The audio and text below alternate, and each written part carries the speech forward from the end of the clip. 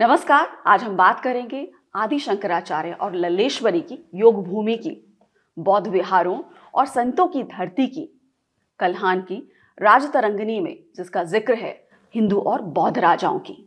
साथ ही चर्चा होगी कश्मीर में आ रही समृद्धि की नई बयार की, और साथ ही ज़िक्र करेंगे कश्मीर में हो रहे स्वीट रेवोल्यूशन का। इन सब पर बात करने के लिए हमारे साथ एक खास मेहमान मौजूद हैं जम्मू एंड कश्मीर की principal resident commissioner doctor Rashmi Singh. बहुत बहुत स्वागत है डॉक्टर रश्मि सिंह आपका इस चर्चा में। थैंक यू तो रश्मि जी इससे पहले कि हम बात करें आपकी प्रोफेशनल जर्नी की मैं शुरू करना चाहूँगी आपके जन्म से। आपको लेकर चलते हैं बिहार वापस आपकी जन्मस्थली और जहाँ आपकी स्कूलिंग हुई जहाँ आपकी एजुकेशन हुई। अब कैसा था वो अनुभव? हमारे साथ आप शेयर करना चाहेंगे?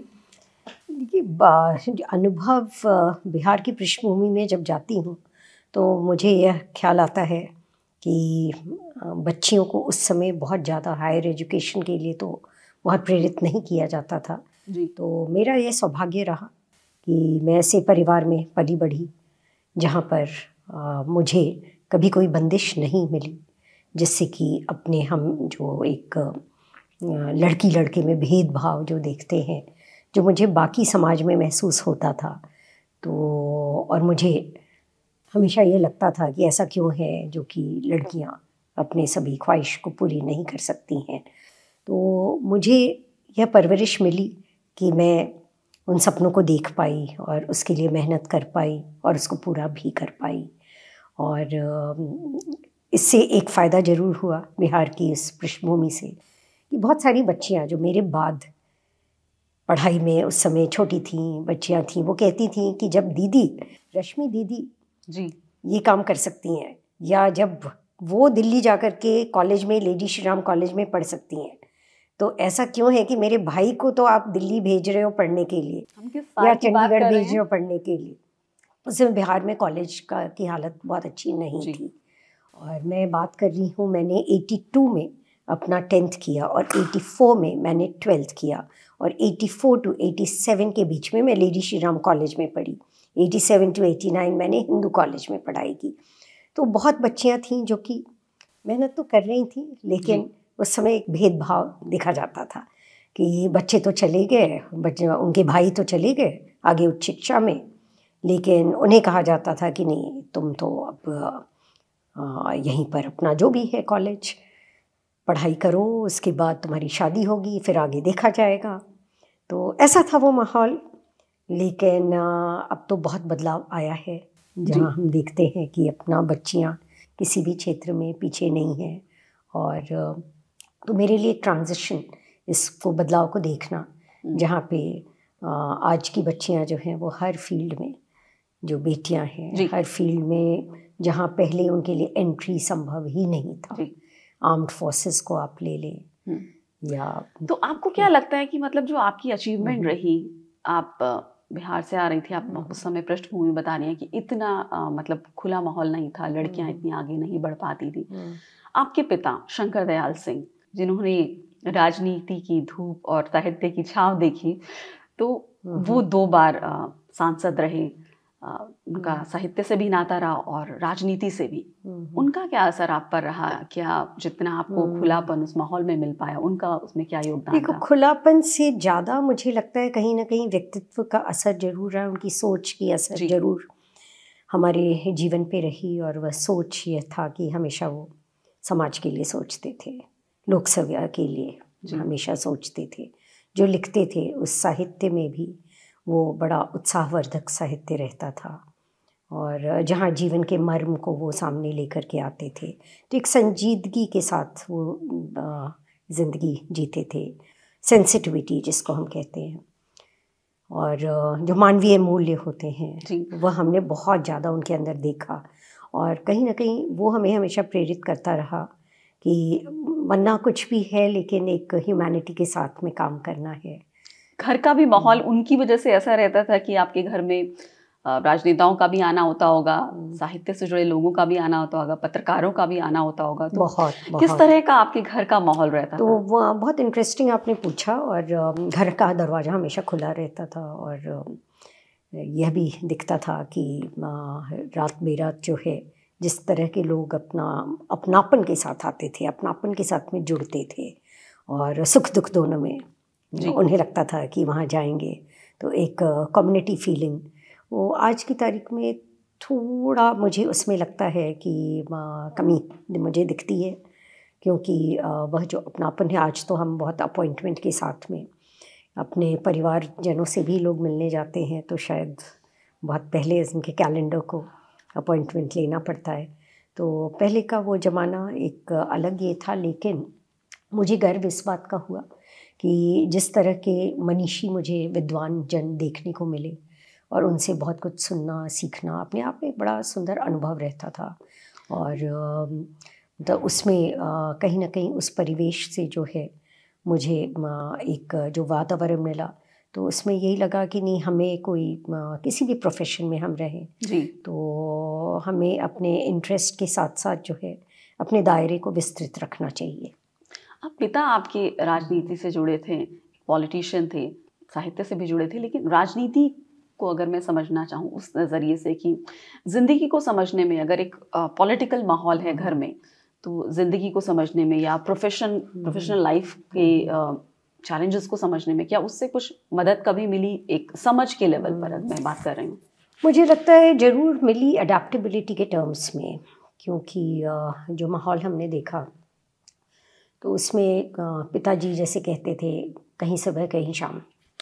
तो एक किताब का शीर्षक भी उनका है। और आज की तारीख में जब मैं कभी जम्मू में हूँ कभी श्रीनगर में हूँ कभी दिल्ली में हूँ और कभी अंडमान निकोबार में भी आपने? अंडमान में भी गई या मैंने बुंदेलखंड में भी काम किया। जी।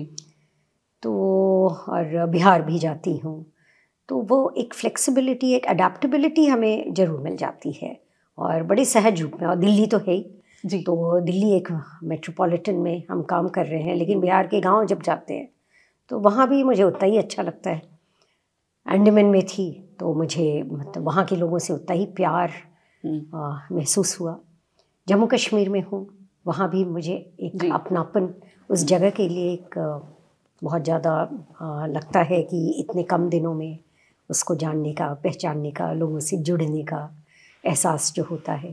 तो मुझे लगता है कि शायद वह जो जो यात्रा रही बचपन से जी। जहाँ हमने चीज़ों को अपना एक सिर्फ़ एक स्ट्रेट जैकेट में नहीं देखा बल्कि बड़े एक विस्तार के साथ में देखा फ्लेक्सिबिलिटी अडेप्टबिलिटी तो वो बड़े अन्यास वो आता गया और इसके लिए मुझे फिर अपने पिताजी का कहीं ना कहीं उनका योगदान अपने ग्रोइंग अप ईयर्स में अनायासी बिना कहे हुए भी शायद उन्होंने इस बात को हमें एक इन एडवर्टेंटली उन स्पिरिट को इम्बाइब किया जी। कि आप जो है कुछ भी दौर कठिन नहीं होता है। हम्म। और क्योंकि ऐसी नहीं थी कि अपना किसी भी राजनीति में तो कठिनाइयाँ भी आती हैं बहुत। चैलेंजेस और वो चैलेंजेस भी उन्होंने भी बड़े हँसते हँसते उन चैलेंजेस को भी लिया। कोई ऐसा तो, वाक्य होगा उनका राजनीति से जुड़ा? जिसे आप याद करके शेयर करना चाहें हमारे दर्शकों से या साहित्य से जुड़ा? तो बहुत ही देखिए राजनीति से जुड़ा हुआ मुझे एक वाक्य एक बार यह ध्यान आता है और पेपर का एक शीर्षक भी कि वो चले थे गुजरात के गवर्नर बनने लेकिन राज्यसभा में पहुँचे।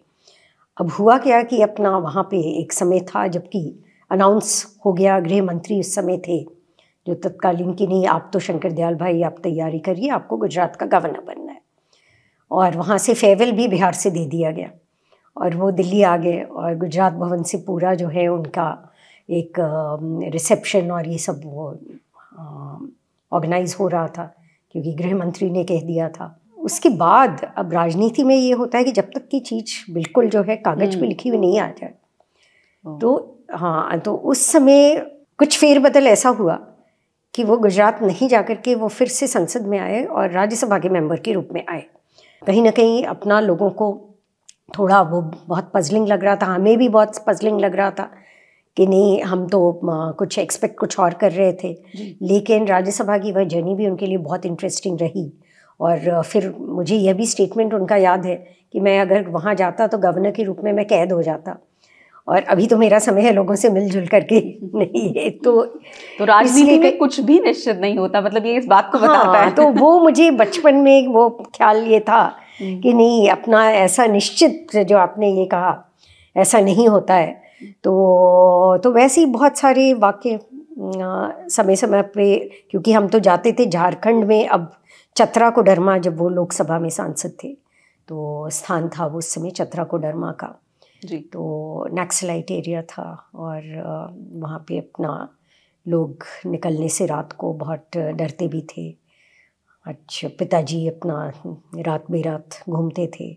और मुझे याद है कि एक बार किसी ने गाड़ी रोकी और लोगों ने कहा कि नहीं नहीं नहीं आप गाड़ी बिल्कुल नहीं रोकिए क्योंकि वो एरिया जो आ, आपके लिए बिल्कुल सेफ़ नहीं है और गाड़ी पीछे ये करिए।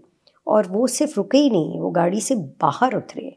और जो उस समय के, जो कहने को असामाजिक तत्व थे, मुझे ध्यान है कि वो रुक कर के जब उन्होंने पिताजी का नाम सुना और तुरंत जो है बड़े आदर के साथ में, सम्मान के साथ में उनको प्रणाम किया और कहा कि नहीं नहीं नहीं, आपका हम कुछ नहीं करेंगे, आप जाइए। क्योंकि कहीं ना कहीं उनकी वही एक नेक दिल पहचान जो थी तो वो मुझे बहुत अपील करता था गुण आपने लिए उनसे?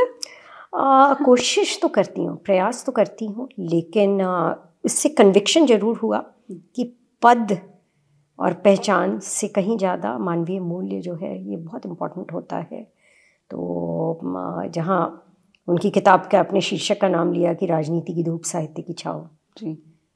तो वैसे ही उनकी एक एक शीर्षक में बहुत कुछ क्या ये अनुभव आपके जब आपने जम्मू कश्मीर में हम्म, हम्म। समय बिताया जब आपकी पोस्टिंग वहाँ हम्म। थी तो क्या ये उनसे सीखे हुए कुछ गुर आपके काम आए?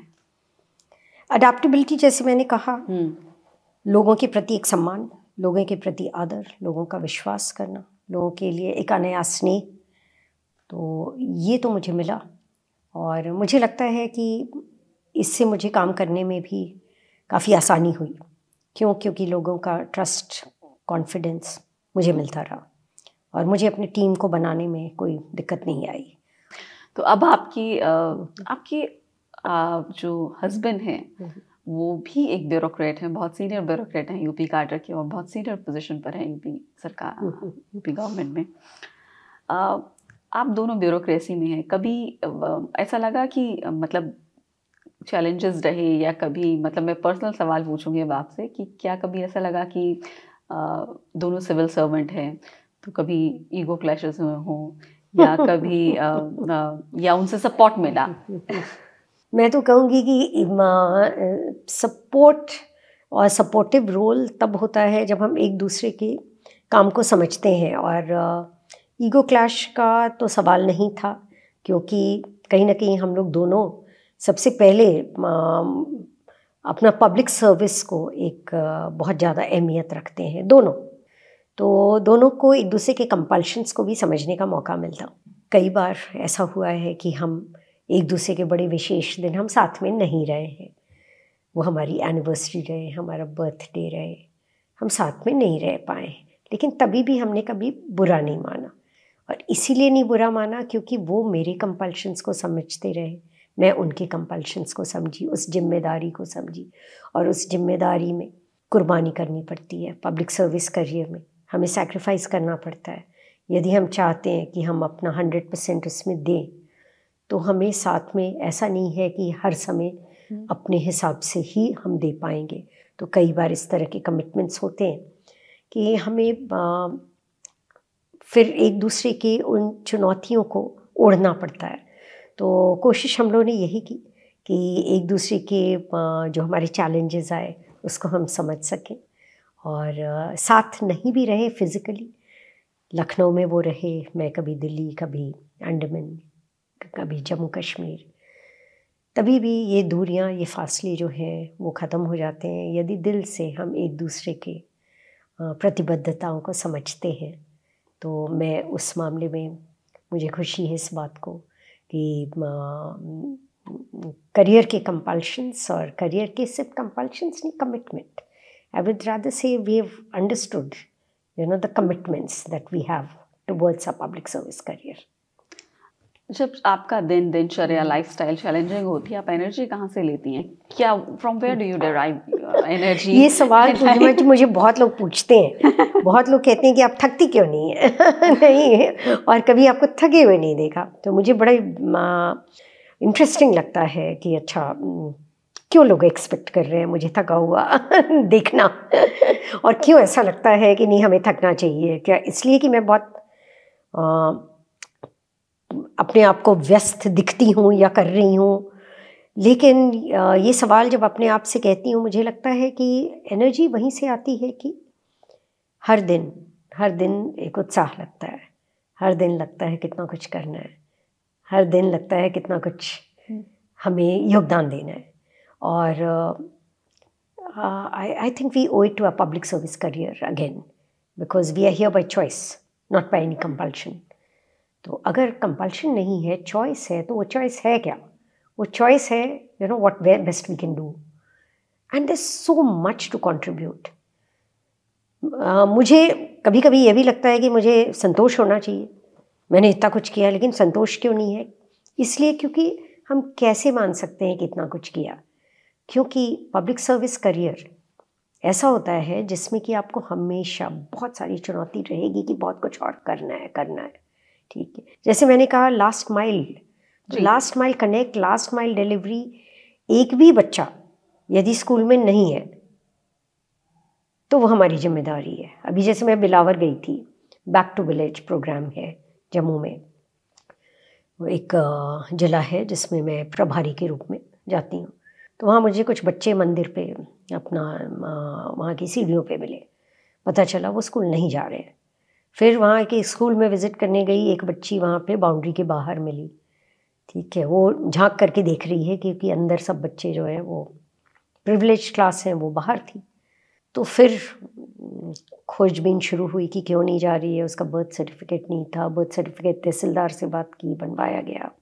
अब वो स्कूल जा रही है, बहुत अच्छा भी कर रही है और टीचर उसका रिपोर्ट कार्ड कभी कभी भेज भी रहे हैं। तो बड़ी खुशी हुई रिंकी की उस कहानी को देखते हुए। तो ये चैलेंज है। तो आज की तारीख में बहुत सारी रिंकी अभी भी इधर, उधर इधर, उधर है, जिनको हमें ढूंढना है। और सिर्फ़ वो रिंकी नहीं, मैं कहूँगी जैसे हमारी बहुत अच्छी योजना है, आयुष्मान भारत हेल्थ कार्ड बनता है, लेकिन महिलाओं को क्या पूरी तरह से उसकी फैसिलिटी को अवेल करना, समय पे उनका ट्रीटमेंट होना, इलाज होना। कभी कभी मैं हॉस्पिटल में मैंने जाके देखा है कि अपना वो बहुत दिनों तक उसने निगलेक्ट किया स्टोन था पत्थर था लेकिन वो बताती नहीं थी घर में। तो फाइनली केस बहुत बिगड़ गया। तो इस तरह की योजनाओं के बारे में आपको लगता है बतौर ब्यूरोक्रेट की बहुत सारी योजनाएँ ऐसी बनती हैं हम्म। जिनका इम्प्लीमेंटेशन या उनका इस्तेमाल कैसे किया जाए जो लोगों को पता नहीं होता? हम्म। वो कहीं ना कहीं कम्युनिकेशन गैप रहता है।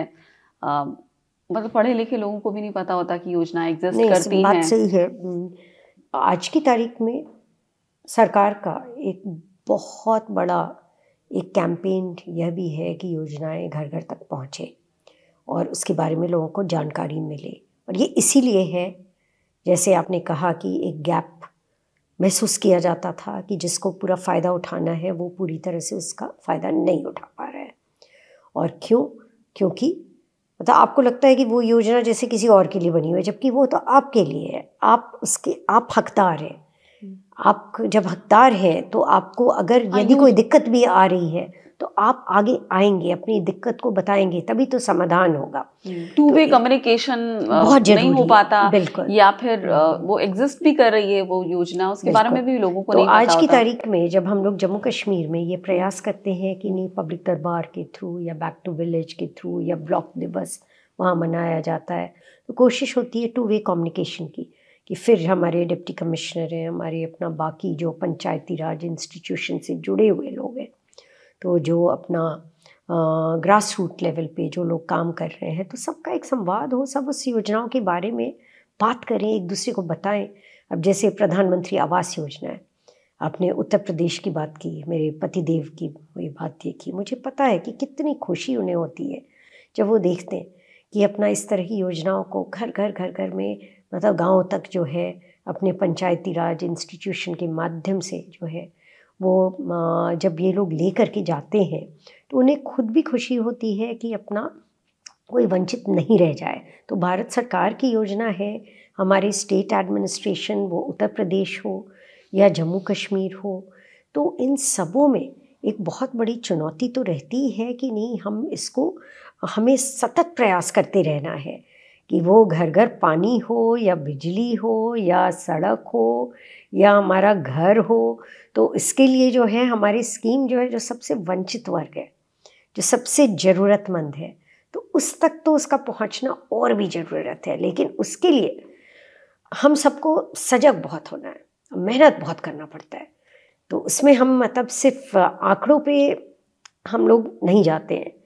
तो मतलब एक प्रहरी के रूप में जो है अपने आप को हमें अलर्ट रखना पड़ता है कि सब लोग इसका फ़ायदा उठाएँ जी और आपके करियर से जुड़ा मैं एक सवाल पूछना चाहूँगी और जब मैं मैं किसी वुमेन लीडर से बात करती हूँ तो मुझे लगता है कि ये एक ओपिनियन लेना चाहिए हम्म। उनका कि जब वो बात करती हैं अपने हम्म। सहकर्मियों के साथ काम करती हैं आप लीडरशिप पोजीशन पे हैं क्या कभी ऐसा लगा कि बतौर महिला होने की वजह से कमाका गया हो, या फिर आपके जो कलीग्स हैं, या मान लीजिए आपसे सीनियर हैं, या सबॉर्डिनेट हैं, हो सकता है कि वो आपकी आपके बराबर के ही दर्जे की पोजीशन पे काम करने वाले पुरुष।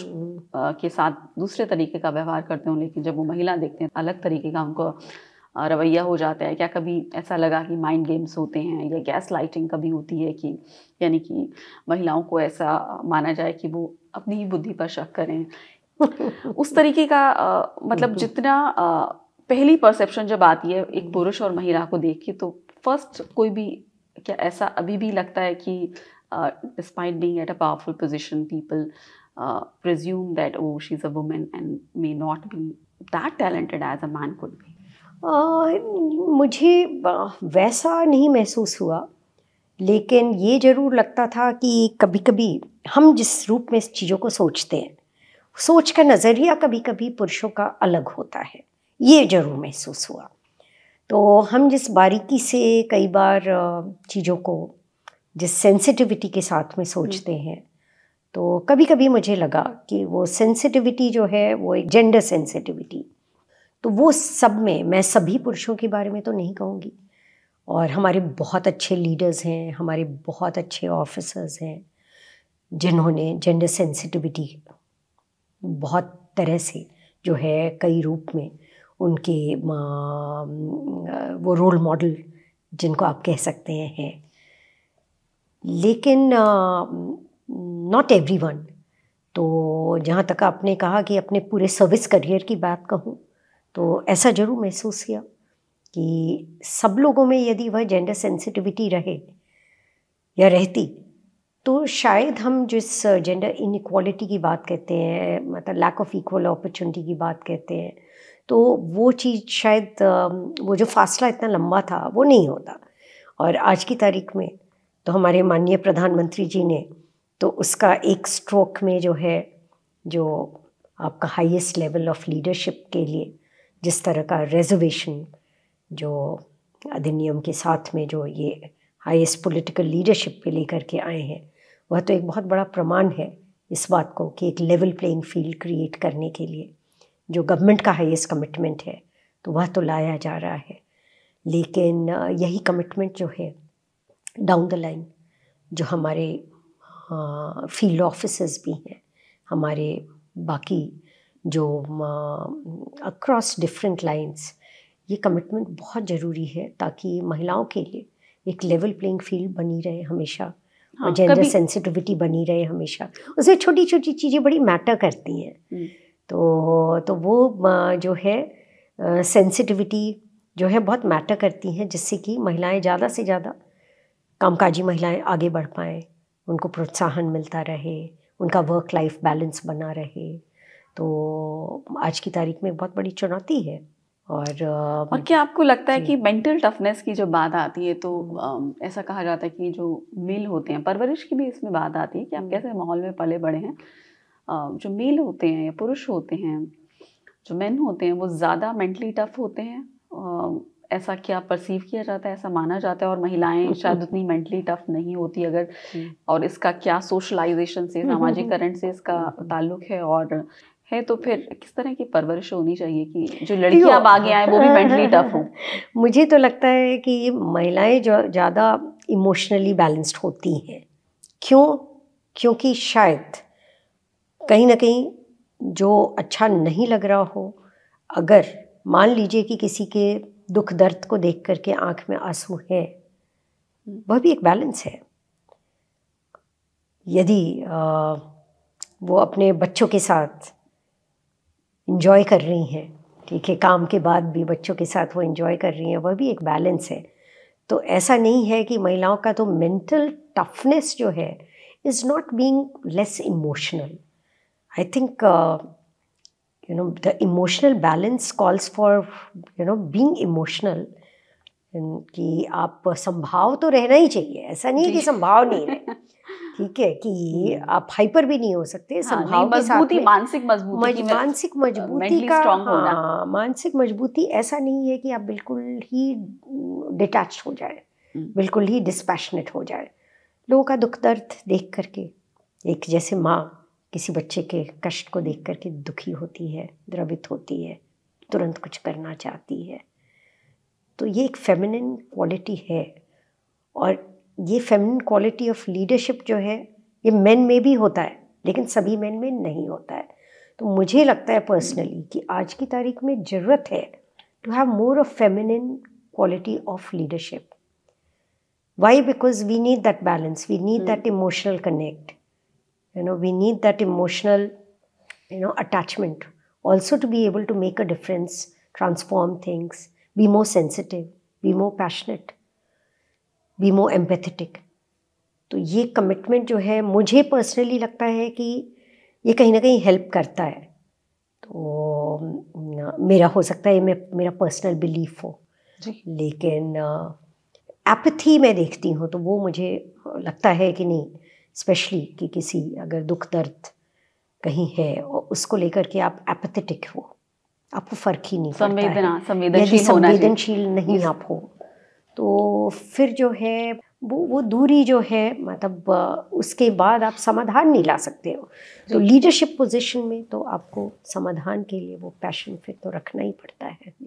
बहुत बहुत शुक्रिया डॉक्टर रश्मि सिंह विस्तार से बातचीत करने के लिए हमारे हमसे कश्मीर से लेकर अंडमान तक और बुंदेलखंड से लेकर आपने कई चर्चाएँ की और हर पहलू पर आपने बात की बिहार तक बात की बुंदेलखंड से लेकर और आपकी जन्म से लेकर हमने आपके प्रोफेशनल करियर अब तक की बात की आपकी प्रोफेशनल लाइफ की बात की और आपकी निजी ज़िंदगी की भी बात की।